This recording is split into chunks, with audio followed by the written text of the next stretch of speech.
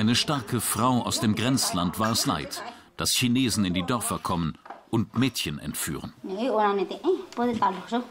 Wang Mai hat eine Kooperative gegründet, in der Frauen Geld verdienen können und Zuflucht finden, wenn ihnen Probleme über den Kopf wachsen. Sie nimmt auch Frauen auf, die aus China zurückkommen, weil sie flohen oder die Polizei sie befreit hat. Weil man sie mit Hochzeitsversprechen dorthin gelockt oder mit Gewalt dorthin gebracht hatte. Wir finanzieren uns mit dem Verkauf unserer Webarbeiten. Das sind traditionelle Muster der Hmong. Ja, genau.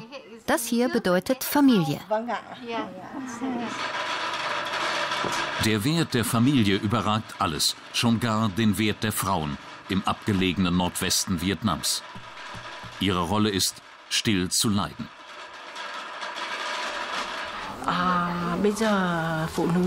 Frauen hier haben ein hartes Leben.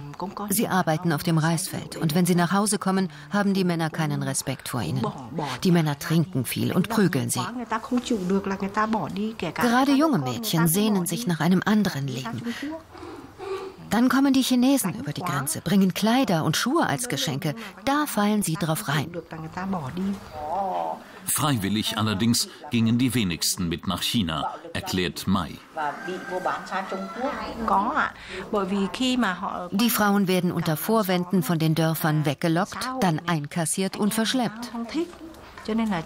Fünf Fälle hatten wir allein hier im Ort. Sie werden in China zwangsverheiratet oder landen in Bordellen. Die enge Dorfgesellschaft schweigt solche Fälle aus Scham meist tot. Mai macht da nicht mit. Sie will uns zu einer Frau bringen, der schwanger die Flucht zurück gelungen war.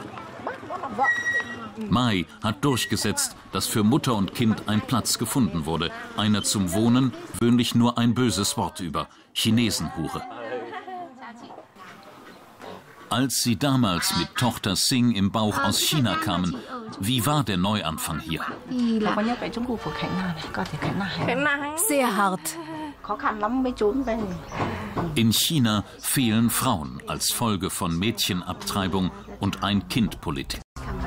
Mit jedem Jahr wächst die Furcht der Mutter, dass eines Tages jemand einfach über die Grenze mitnimmt.